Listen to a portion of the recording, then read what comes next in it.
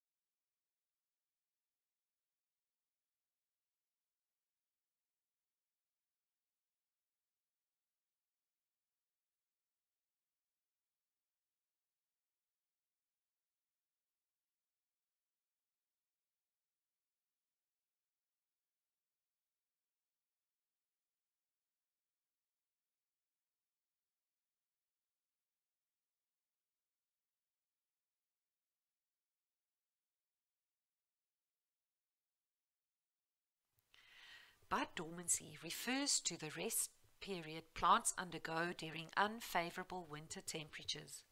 It is defined as the absence of visible growth in any plant part containing a meristem.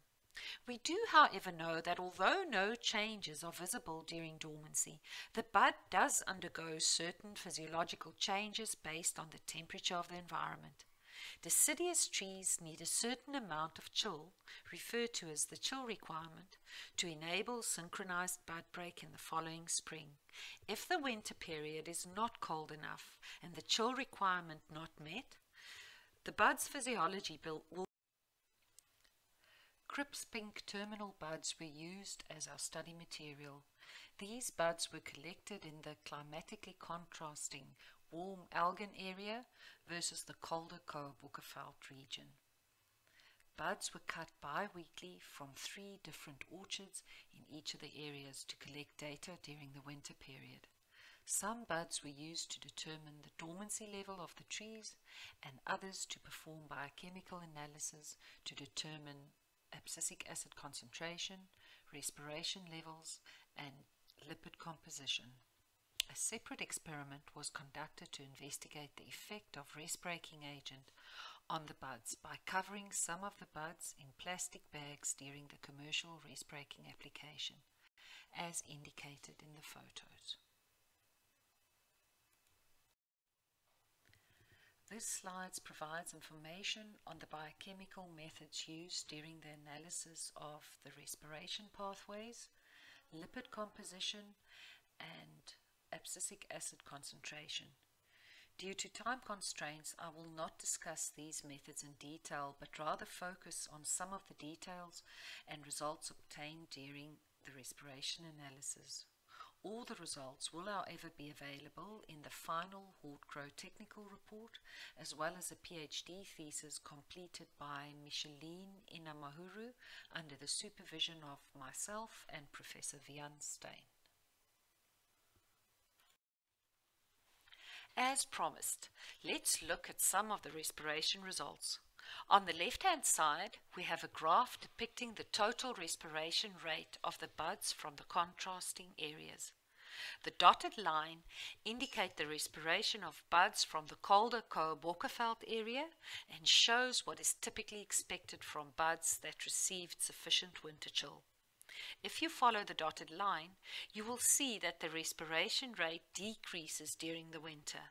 And then, in mid-July, the respiration increases sharply as the chill requirement is possibly met and the buds are starting to prepare for growth resumption. There is a rapid return in growth potential as the respiration rate increases drastically and is providing the much needed energy required for growth resumption. The solid line indicates the respiration of the buds from the warm winter area. Although the respiration rate also declines during winter, it never reaches the same low levels seen in the Koue Bokkeveld buds. The increase in respiration rate now occurs earlier, but at a slower rate and never reaches the high levels seen in the Koue Bokkeveld buds. This possibly shows that the buds with insufficient winter chill do not provide the same amount of energy through respiration and therefore struggle to resume growth in spring. On the right hand side, we are looking at a similar graph.